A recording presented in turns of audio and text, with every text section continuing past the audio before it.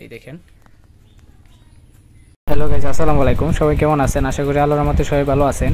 Video title এবং thumbnail দেখে already বুঝেই গেছেন ভিডিওটা কি টপিকের তো দীর্ঘ অনেক দিন পরে ভিডিও দিতেছি। তো এটা হচ্ছে গাছের ভিডিও তো গাছগুলো দেখেন কেমন গাছ তো আমি এই গাছের ভিডিওটা ছাড়তে একটু লেট হয়ে গেছে কারণ আমি এটা আরও অনেক আগে দিতে চাইছিলাম। বাট আমি এক জায়গাতে গেছিলাম বেড়াইতে। তো ওইখানে গিয়ে আটকে পড়ছি।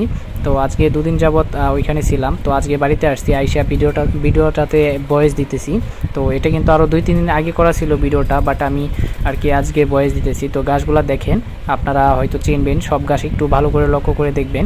তো এই গাছগুলো খরগোশ খুবই পছন্দ করে, আমি এটা প্রতিদিনই খাওয়াই। তো এখন বর্ষার সিজন তো এখন সব জায়গাতে পানি হয়ে গেছে, যে জায়গাতে গাছ ছিল। তো এই পানির উপরেই দেখেন কত সুন্দর করে গাছগুলা বের হয়ে আসছে মানে যে আগার অংশটা, তো এটা আপনারা কেটে আর কি খাওয়াবেন। তাহলে আহ, খরগোশ খুবই পছন্দ করবে। আর এখন এখন বারান্দায় নিয়ে আসছি। বারান্দায় আইনে এখানে মেলিয়ে রাখছি যাতে গাছগুলা তাড়াতাড়ি শুকায় যায়।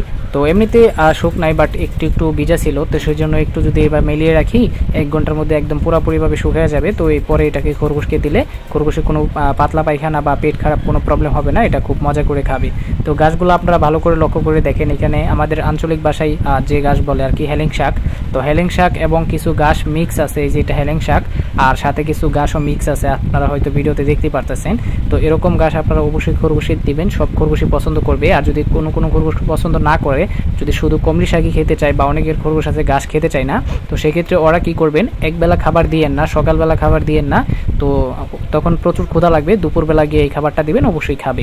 আর না খেলে আমার সাথে কন্ট্যাক্ট করবেন, পরে কেমনি কী করতে হবে ওটা ডিটেলসে বলে দেবো। আর এখন যে গাছগুলো কেটে আনছি, এগুলো আমি একটু পরে আর কি খরগোশকে দিব, আপনারা দেখেন। আর আর অনেকে ইদানিং দেখতেছেন আমার থামনেলের একটু পরবর্তী- পরিবর্তন হয়েছে তো এটা কিন্তু আমি করি নাই। তো আমাকে এক ভাই আর কি থামনেল এডিট করে দেয়। তো ভাইয়ের ডিটেলস ভিডিওটা দেখেন, যাদের ভালো লাগে ওর কাছ থেকে এডিট করতে পারেন। হ্যালো ভাই বেরাদাররা তোমরা কেমন আছো? তোমরা হয়তো নতুন ইউটিউবার অথবা পুরান ইউটিউবার, কিন্তু তোমরা থাম্বনেল তৈরি করতে পারো না। থাম্বনেল তৈরি করলেও তোমাদের নিয়ে সবাই হাসাহাসি করে। তোমাদের আর কোনো চিন্তা নেই, আমি আছি তোমাদের জন্য। হ্যাঁ আমিই তোমাদের থাম্বনেল তৈরি করে দেবো। স্ক্রিনে দেওয়া হোয়াটসঅ্যাপ নাম্বারে আমার সাথে যোগাযোগ করো। আর যার কথা না বললেই নয়, আমাদের প্রিয় খরগোশ লাভার ভাই। ধন্যবাদ খরগোশ লাভার ভাই এবং তার সব সাবস্ক্রাইবারকে। আর এই দেখেন, সবগুলা কত সুন্দর করে খাইতেছে। এই দেখেন। তো এই গাছগুলো কিন্তু প্রচুর পছন্দ করে আপনারা হয়তো ভিডিওতে দেখে বুঝতেই পারতেছেন বা গাছগুলোর ছবি বা ভিডিও দেখে বুঝতে পারতেছেন। আর একটা বাচ্চা কিন্তু বেঁচে আছে, সবগুলা বাচ্চা তো মারা গেছে, আপনাদের হয়তো বলি নাই। তো তিনটা বাচ্চা ছিল।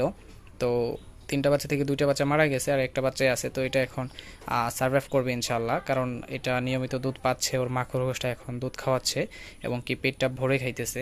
এই দেখেন। দেখছেন? তো মাত্র যে গাছগুলো দেখাইছি, এই গাছগুলোই খাইতেছে।